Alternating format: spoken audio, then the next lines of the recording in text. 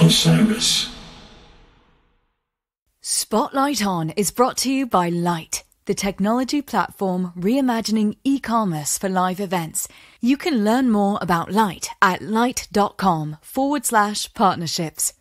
That is L Y T E dot com forward slash partnerships.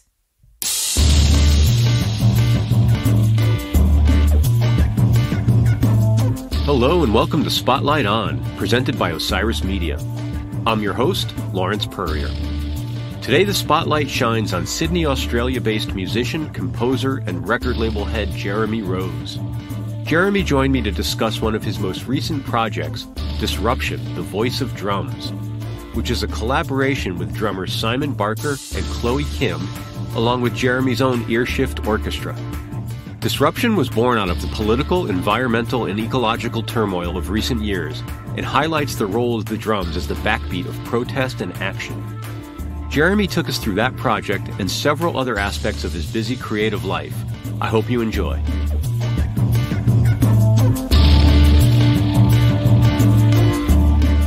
Thank you for making time to do this. I'm very grateful. Pleasure. Congratulations on the uh, Arts Music Award. That's very exciting. Thanks a lot. Yeah, that was fantastic to get some recognition. I want to talk a bit about disruption, but I was hoping that maybe we could start with a couple of things that stood out for me in your biography that I, when I was reading about you. One of the things, there was a line that said, you work at the intersection of socioculture and genre. I don't want to make assumptions about what that should mean. And I'm wondering if you could talk a little bit about about what that does mean for you and your work and what it causes you to bring to your work that you might not otherwise.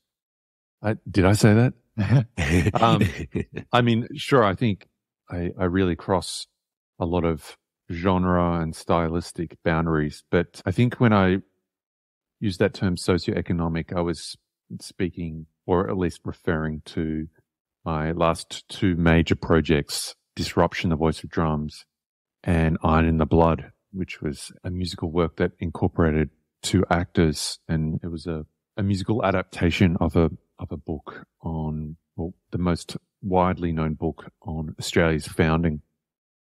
And I guess it was sort of just challenging some of the ideas around Australian cultural identity and who we are and, and perhaps it might inform where we're going. So not all my work is is kind of politically engaged. It's kind of just been those those two large scale projects.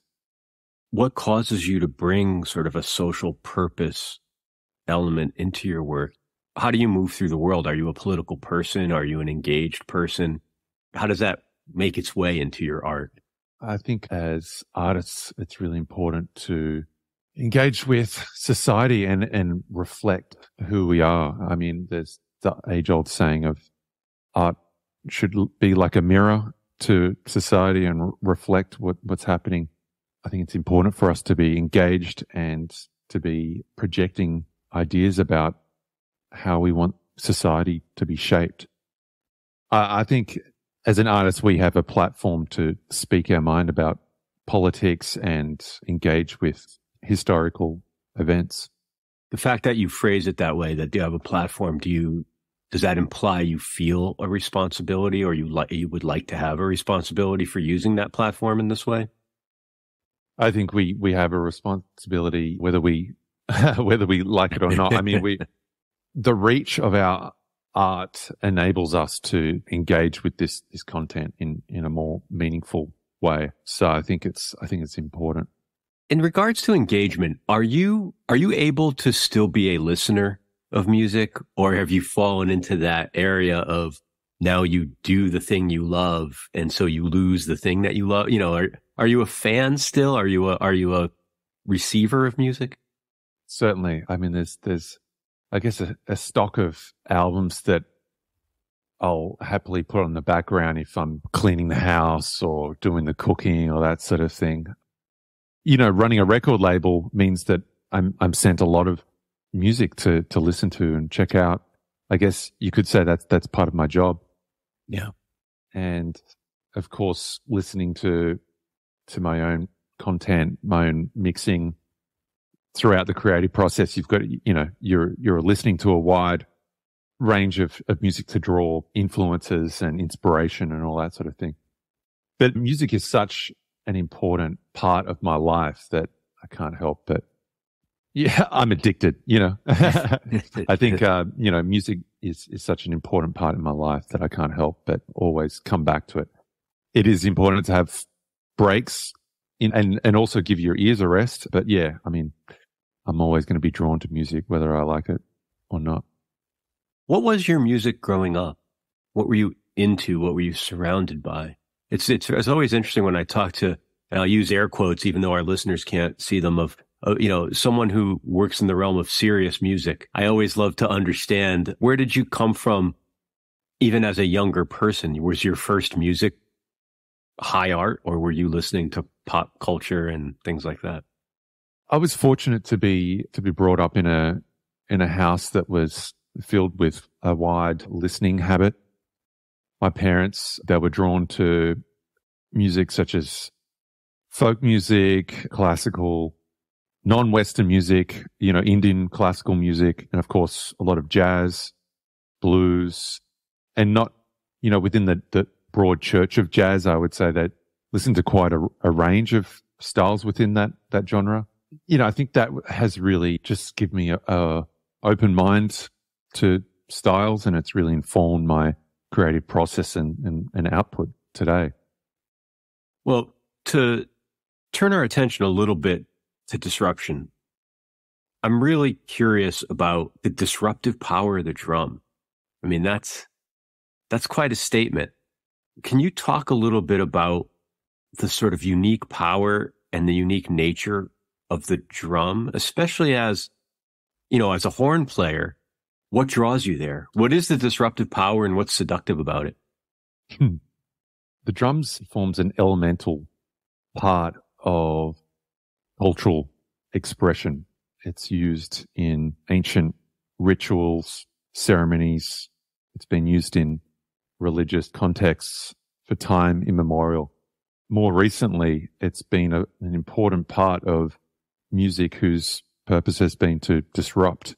We've just been through one of the most disruptive periods in recent history with civil unrest, the, the global pandemic, growing ecological disaster the drums has been a really vital component of, of that music from the streets where we hear people banging on drums. It's often accompanied by, by chanting and, and all the, all the protests that we've seen all over the, the, in North America, in Hong Kong and in Thailand and, and Russia. We've seen it used in, in hip hop music. And I mean, if we look at Kendrick Lamar's music, the drums is, is just such an important part of, of, of that music. And so I really wanted to, to celebrate the, the power of the instrument here in Australia. We're, we're really lucky to, to have an amazing exponent of, of the instrument, Simon Barker, who's, whilst versed in jazz, he's, he's been studying the, the music of East Asia, or the traditional shaman music of East Asia and, and the Pacific he's one of the, the leading, leading drummers in the world. So I've always really wanted to, to collaborate with him in a, in a more significant way, as well as one of his former students, Chloe Kim, who's now really created a, a unique voice of her own. And the two of them have, have released a number of solo drum records so I I essentially took their music and arranged kind of a soundtrack, uh, which sort of foregrounded their their solo drum recordings with an eight piece electroacoustic orchestra, and they recomposed their parts over the top of that. So we came up with something entirely new. Oh, interesting. So you had their original foundation, you composed over it, then they sort of pulled out the foundation and reintegrated. Yeah, that's amazing. Yeah. That's an mm-hmm. interesting mm-hmm. process. As a composer outside of this project, where does rhythm come in for you generally? You know, are you, first of all, at what instrument do you typically sit down to compose at? And then does it start with a melody? Like, you know, of all of the various elements of a composition, where do you typically begin? Well, I have a background in, in piano. I started my music education on piano. So I'm fortunate to have the facility to be able to compose at the piano. I mean, yeah, actually you could get away without much technique and still be able to write amazing music. But yeah, I mean, I, I, I love, I love to, to write at the piano and I like to work on various elements at a time, harmony, melody, but also really I like to think about ways to extend form, structure, dynamics mm. and, and, explore other extended techniques and, and articulation, that sort of thing. So yeah, usually I'm improvising at the piano and something will, will stick with me. And, and I guess I get, you know, what they say, the kick of the horse or whatever. And, and I can, um, I like to record myself improvising and with, with this recent project, a lot of it came through recording improvisations, transcribing and then arranging that material. Could you tell me a little bit about the live presentation of disruption? Cause obviously I'm, I'm very far from you. So I, I don't know if and when I'll get the opportunity to see it. But from what I've seen online, it's spectacular and very multidimensional. So I'd love if you could talk a little bit about how you came to have such a rich, multifaceted live presentation. What about this project lends itself to that for you? As I mentioned, the, the drums are foregrounded in this in this project musically, but I also wanted to capture that idea on stage. So the the two drummers are set up at the front of the stage with the rest of the ensemble sort of in a U shape around the back. And we have an audio visual component. So we, we collaborated with two video artists, Paul uh, Mosick and Rachel Peachy, who created some stunning moving visuals that reacted with the audio. We drew upon some images from, from protests from around the world, not, not just North America, but you know Hong Kong, as I, as I mentioned, and, and they created a whole range of, I'd like to say, organic video material. A lot of it was quite earthy and a lot of moving things in water and smoke. There's this kind of ritualistic element in the music and also this kind of, yeah, immersive experience that we really tried to capture in the, the visual component. And I think that that came through in the live presentation. I would say that seeing these drummers perform live and each, we, have been fortunate to present it twice now, once at the Sydney Festival and just a few weeks ago at the Melbourne International Jazz Festival. Each time we've performed it, it's changed somewhat. As, as I said, the, the drummers have sort of recomposed their parts, but they've, they're getting better and better every time we perform it. So it's really quite compelling to, to witness that. Is it something that will be presented again and again over time, or is this a very discrete project and then it will be what it is? No, certainly we we're hoping to to bring this this project to a few places. Um, well, we're we're pitching to Europe, South Korea, and you know we'd love to bring it to the states. So fingers crossed we can make that happen. Yeah, please do, please do. It's very exciting. It's enough to simply watch master drummers at work and percussionists. You know, without the immersive presentation you create, but that just, at least the way it's captured on video, it's very, you could, you could feel the visceral nature of it. It's very exciting. It's very exciting. Thank you. There were elements of other music that, that sort of resonated for me when I, when I was experiencing the music of disruption and uh, something that it evoked for me. And I, I'm happy being completely off base with this, but I felt I wanted to tell you. I felt I, I heard a strand of of some of the later Henry Threadgill projects, the way he, I don't know, I think of like propulsion just as a, as a component of some of his music, very muscular. And I felt like I could hear a little bit of that, not only in, in the, the horn tones, but just the, the music had a brawniness to it that it was evocative of Henry Threadgill for me. And I, am not asking you to comment necessarily. I just wonder right, if, right, if, that, right. if how that speaks to you at all. Hopefully it's not offensive. yeah, no, no. I mean, no, thank, thanks for those comments. Yeah. I, it was necessary to, to have that energy to be able to kind of match what was happening on the, on the drums. And of, of course, the art ensemble and AACM, all those artists, I mean, they're, they're a, a big influence on, on me and, and, and a lot of the artists that are in the ensemble. So I guess it's, it's natural for, for that to kind of come through. Elements of rock and, uh, I mean, there's a track that, that kind of reminds me of the, the Jack Johnson Miles record, but it, it has an unusual twist because it, there's actually a, a Korean drum pattern ha- happening underneath, and especially as a as a double with a dr- double drummer format, it has a real primal energy in it. So yeah, I'm glad that came through.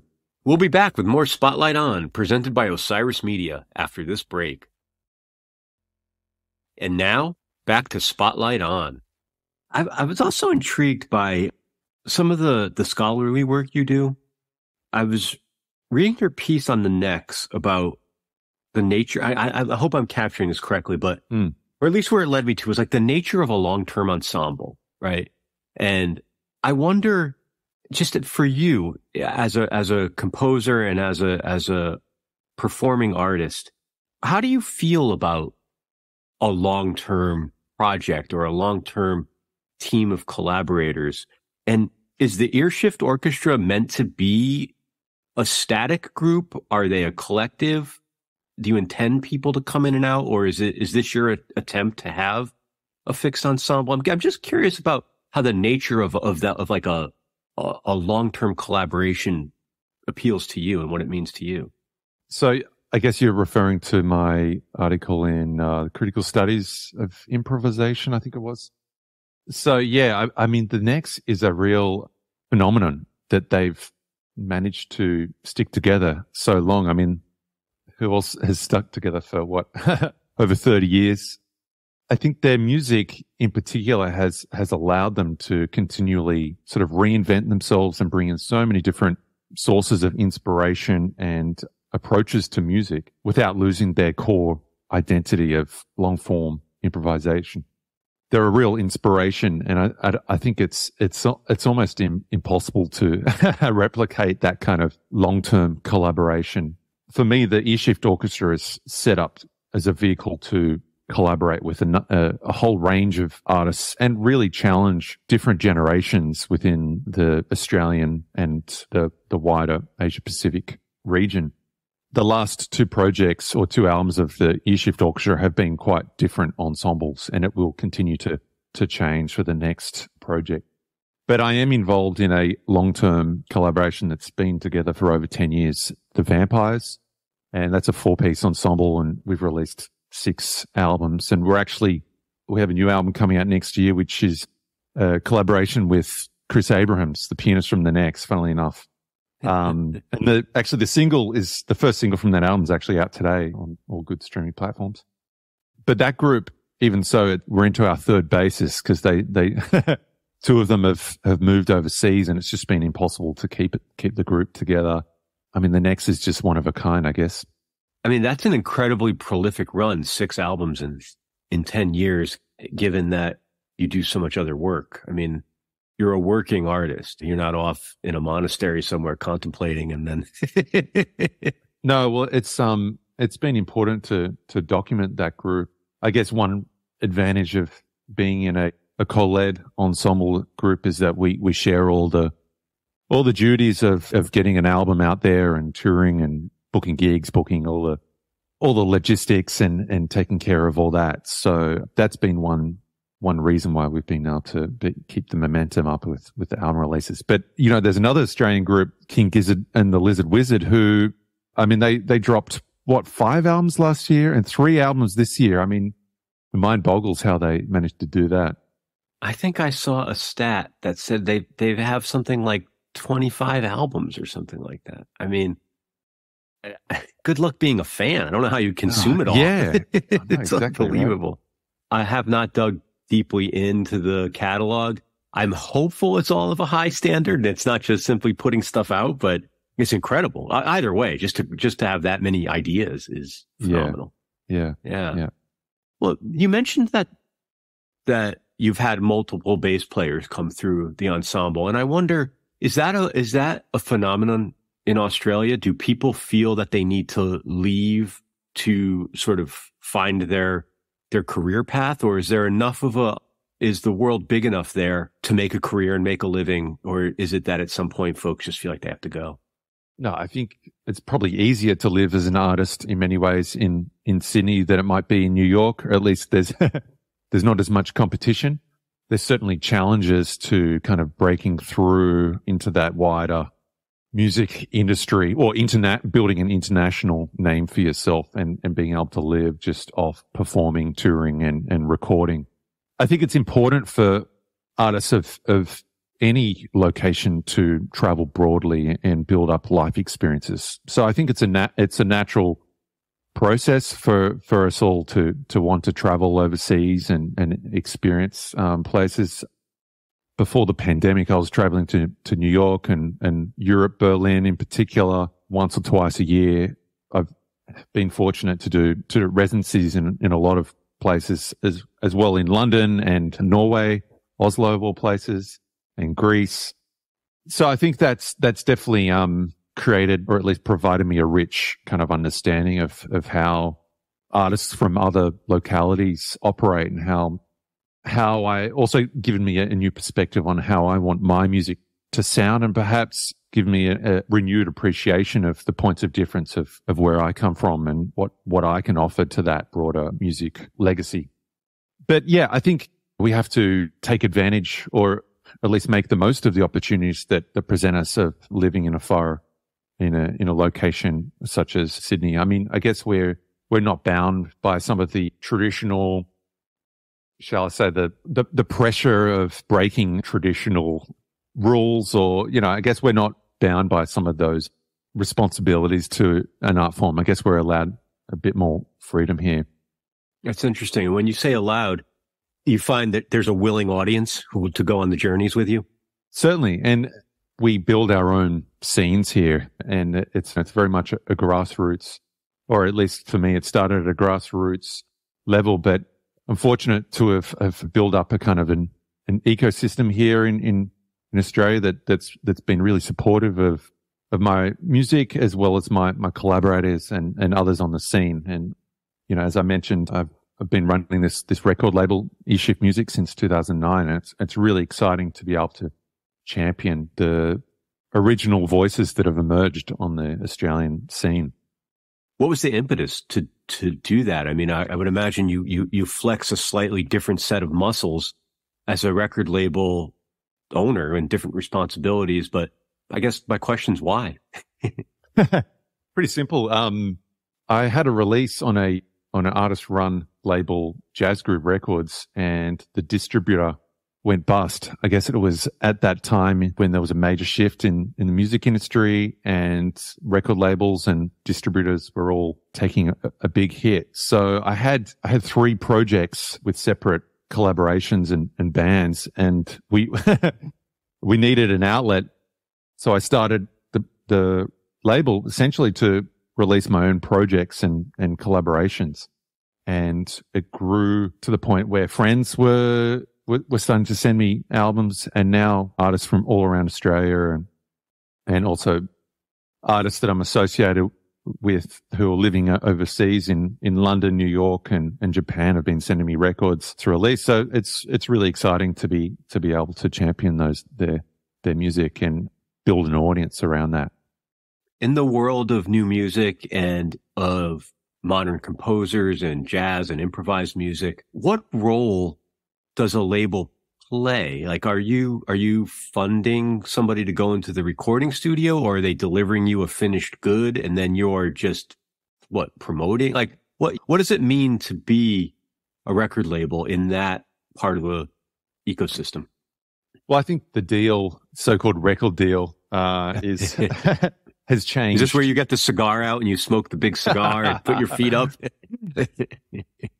the record deal has changed so much. I mean, even the major labels, their idea of a record deal, I, I, I don't even know if it really exists anymore, but at least for Earshift music, it's, we're really acting as a, a promotion tool and kind of a, an an agency that that has helped connect artists with a, a promotional platform and facilitated them with with getting the music out there in a well presented format. We really are delivering impact for their release rather than an artist having to do it themselves. We're, we're also fortunate to be given some financial support to really help with our international campaigns at, more recently, which has been a, a, real game changer.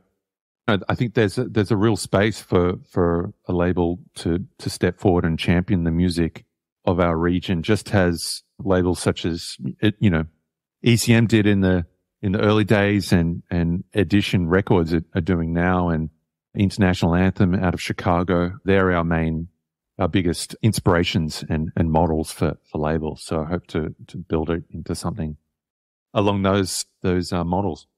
What do you think is the special thing, if anything, that you bring to the role being both an artist and, and now a, a business person? I know what good music sounds like, or at least the artists that are, are released on the, the label are, are important and their music is music that's striving to create something new and exciting. And so I've been able to put a stamp on the vision for the label that, that I think people can recognize now and they're willing to give future releases a, a listen because I've hopefully developed a bit of a, a sound for the label. And that's, that's yeah. really what, what has been the driving force from the beginning. Yeah. When you, when you said you put a stamp on the label, I wonder, is that how overt is that? Is it an aesthetic? Is it a philosophy? You know, how does that manifest? Yeah. I, I think it's a, it's an aesthetic mostly appreciating a type of artist that has really strived to to say something in their music. It's not just a presentation of um, they're not just playing standards on on the releases, jazz standards. It's it's more than that. I mean, perhaps you've already answered this, but composition and innovation in composition seems important to you. Is that fair to say? Yeah, for sure, hundred percent. Jazz music, whilst whilst we I guess we call it a jazz label. You know, jazz music can mean anything these days. Yeah. And uh, I think it's most importantly, it's, it's a, it's a process of making music that has embraced some form of innovation and attempt to disseminate the boundaries of of music in some way. And like I said, could be cultural, cultural, stylistic, or other music processes that they've they've interrogated in some way. Yeah. I mean, I think it's an exciting moment to be a jazz fan or to be a, a, a, fan of, of modern composers or instrumental music. There's just so much interesting music right now that, that is, um, and I don't know if that's the internet, the streaming services, but there, it just seems there's no shortage of, of wonderful music to keep discovering. And I felt for a long time to discover that I would have to look backwards. And it's so nice to be surrounded with it in a more contemporary fashion. But it's also interesting to me, specifically to jazz, you know, so much of the innovation 40, 50 years ago was around the move to electroacoustic and, and you know, and electronic instruments. How many people went in that direction? For better or worse, it played out in some extremes and then other areas, you know, they they continue to innovate. Like it, it's just, it was what it was. No, no qualitative statement there. And then there were people who innovated through composition and things of that nature. And these aren't discrete buckets, obviously, you know, there's, there's overlapping, but probably listeners have, have heard me talk about more than once. I'm a McCoy Tyner fan. I'm a piano player. I know nowhere near McCoy, but you know, I'm, he's my, he's my guy in my pantheon. And he's always been interesting to me because his innovation struck me more around arrangement. He never went electric, which I, which still boggles my mind. Like there, he never went electric with the instrument that would have been the most obvious in that era. Right. Yeah. Some great compositions, but his his records, the way they were so different in terms of arrangements and the and the ensembles he put together and the African influence or strings or what have you. It's amazing how there's all those there's all those aspects of music and they and they they all lend themselves to their own innovation, their own excess even. And I, and it's interesting to me that your gravitational pull is at the compositional side I wonder, do you like to experiment with form and do you, how does, how do you think about arrangements? And I'm curious how all that settles in for you. Well, I think composition really allows you to explore numerous musical identities and I'm driven by the variety and nature of, of musical activity that's kind of just beyond my own aesthetic borders, you know, my own my own tastes and, and inclinations. So I'm just driven by continued curiosity to explore and create new forms of music. And I think composition allows you to really create platforms to kind of explore those, those various ideas and concepts and, and have fun with them. and of course, approach them through my own prism of, of musical processes, which is whatever my musical instincts are. And, and, and of course, in a, I'm fortunate to be a, a performer and a composer. So there's that element that plays into it too. I think I've been creating a lot of music these, this, this past 10 years. You know, I guess I'm up to perhaps over 20, 20 albums or so, various projects and collaborations. And, and I think perhaps it might be time for me to, to explore arranging or at least take someone else's music and, and explore a little, uh, interrogate it in the same way. But, um, thanks for planting that seed. Maybe that. I'll, I'll take my producer's fee. yeah, that's it. I have to ask then, since you, you, you raised the point, what would be an artist whose, whose repertoire or whose, whose songbook you would want to spend that kind of time with and make that kind of emotional and artistic investment in? That's a tricky question, and uh, I don't know. It does feel a bit um, unfair to ask. Yeah, I, I, bet you I could ask every day and get a different answer. Well, I don't. Yeah, I don't want to re- also reveal uh, my uh, my secret, the secret project I've got brewing. But um, I think there's so many so many artists that I'd like to explore. I mean, I've been looking at Paul Motian's electric bebop band recently, and I think you know that I love that approach of taking those melodies and, and sort of, uh, well, playing them with a contemporary band and just doing your, yeah. you know, uh, reinventing them. I loved Rudresh Mahanthappa's uh, Calls album, what he did to Charlie Parker's music. He's something else, Rudresh. Oh my God. I know. I know. I love Wayne Shorter. I think there's, there's so much scope still to ex- further explore his music, but you know, it might be nice to, to take someone that's, that's kind of a less obvious yeah figure as well. So I've got a I've got a, a drawing board of of ideas, and I'm going to keep adding to it. I'm not quite at the at the stage of taking on my next project, but I guess I'm I'm a transitional stage. There's there's been so many projects that have taken shape during the pandemic, and I'm, I'm just I've got another two or three albums that are coming out in the next six months. So once all that's happened, I'll I'll um I'll get back to you. I, have one other quick question. It's sort of process related before I let you go. And I'm wondering what role, what role the studio plays in your work and, and more broadly, sort of your tools and technology. Are they simply tools at your disposal or is the studio a member of the band? You know, like how, how do you, how do you think about and, and interrelate with technology? Yeah, well, it's an interesting question. I mean, jazz has traditionally well, jazz recordings have, have traditionally been all about trying to capture that that live element. It's it's impossible to replicate like a quartet recording, for example. All of my quartet recordings have been a studio recording of a, a live performance. You know, we might be in separate booths, but essentially that's that's what happened in, in real time. There's been little overdubbing. But more recently with, with projects such as Disruption and also more recently with like the most recent album of The Vampires with Chris Abrahams, we've we've really taken advantage of the possibilities of being able to layer, create layers of bed tracks and overdubbing techniques. In fact, with Disruption, it was born out of necessity because we couldn't all fit in the we couldn't have two separate drum rooms with a live band with the six piece ensemble at the same time in the studio that we'd selected. They really only had sort of two main rooms to record in. So a lot of the drum tracks were, were laid down first. We recorded with that, but some of those tr- drum tracks had to be kind of synced or at least cut up with various sections that were cued or we might have used a time code in the, in the composition to create the, the necessary sections.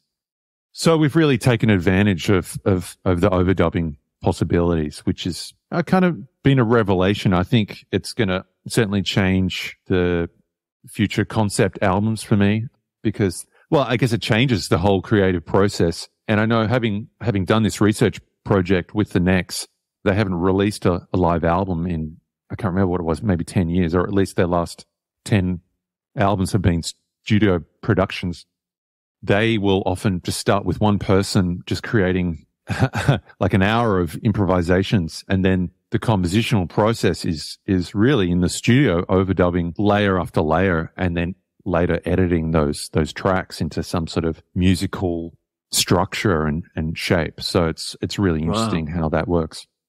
That's really amazing. Well, thank you for spending time with me. I really enjoyed talking with you. Thank you. It's been great chatting.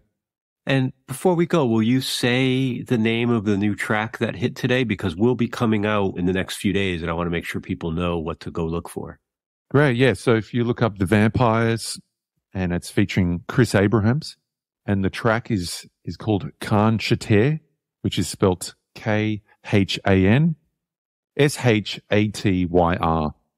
Khan Shatyr. Khan Shatyr. I'm going to make sure I go listen to that when we uh, when we get off this. Great. Thank you so much, Jeremy Rose. As always, thank you for listening to Spotlight On. We're presented by Osiris Media and brought to you by Lyte. Executive producers are Lawrence Purrier, Ant Taylor, Brian Brinkman, RJB, and Matt Dwyer. Spotlight On is produced by Craig Snyder, with post production by Michael Donaldson and theme music by Q-Burns Abstract Message. If you like what you've heard, please share us with a friend and leave a review on your podcast platform of choice. Visit us online at spotlightonpodcast.com or at spotlightonpod on Instagram and Twitter. Thanks for listening, be safe, and stay in touch.